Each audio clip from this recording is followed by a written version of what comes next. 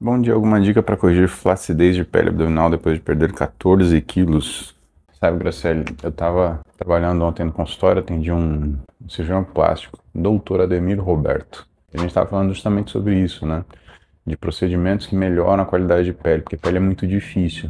Acho que a primeira coisa que você tem que pensar, de forma clínica para melhorar a tua pele, é melhorar o que, que é a tua, o teu aporte proteico. Isso daí indiscutivelmente. Uma coisa que me surpreendeu é que nos últimos anos tem saído cada vez mais estudos falando sobre o colágeno, né, os biopeptídeos de colágeno, né, que a gente antes achava que não fazia diferença nenhuma e, pessoal, faz diferença. Só que você tem que achar uma boa marca para isso, né, porque uma coisa é o colágeno, outra coisa que é a gelatina, outra coisa é o colágeno hidrolisado, outra coisa é o biopeptídeo de colágeno. Então, são coisas diferentes.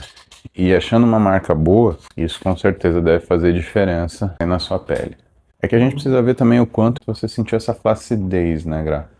Porque, evidentemente, tudo tem um limite para esticar e voltar. Eu acredito que se você fizer um exercício legal, se as coisas andarem assim, funciona.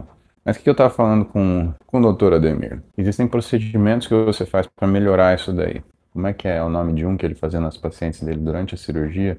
É como se fosse um plasma. Na verdade é um plasma, né? Um plasma de hélio que você faz na pele e a pele ela retrai. Mas tem alguns outros. Tem ultrassom microfocado. Cara, ultrassom é bem legal para gordura localizada, né? Porque ele tem uma, uma ponteira que é de profundidade. Então, quando você tem a pessoa que ela já emagreceu, mas ela tem gordura localizada em determinadas regiões e que vai judiar demais, se você quiser fazer, né, ficar forçando. Então, para essas situações, Graziela, a gente usa a gente usa esse tipo de recurso, né? Porque primeiro é o que funciona, segundo, para você atingir ali é complicado, mas não se esqueça de subir o conteúdo proteico e melhorar o que é o aporte de colágeno mesmo, né? Então, essas são as dicas.